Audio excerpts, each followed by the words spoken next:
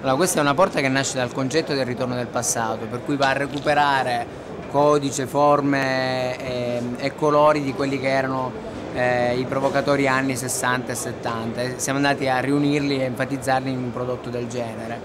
Eh, questa porta si chiama Asola, ha un particolare sistema di apertura eh, che evoca un po' quelli che erano i vecchi frigoriferi. Abbiamo voluto accentuare ancora di più l'ironicità di questo prodotto andando a mettere dei pannelli di rivestimento che enfatizzano appunto la giocosità di questa, eh, di questa porta. Un'altra caratteristica è la presenza di cerniera scomparsa e uno studio sulle finiture che va dal, dallo studio di abbinamenti cromatici fino proprio ad andare a curare il dettaglio della singola vite che permette l'accesso poi alla struttura della porta.